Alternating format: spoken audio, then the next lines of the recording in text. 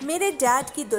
Amber and Guneet's date plan turns as Siyappa. Sony TV's popular daily show Mere Dad Ki is gearing up for a high voltage drama and twist. Amber and Guneet's life seems to take a new turn, and here they are online friends. Nia is happy that Amber is talking to someone. Nia encourages him to go on a date and know people.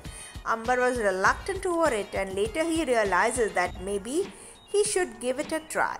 Guneet thus talks about meeting and are happy at this talking of meeting.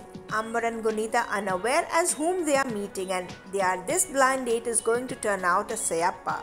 Will Amber and Guneet be able to digest this fact that they were talking to each other? Keep watching our channel TV Primetime for more such exciting updates and upcoming twists.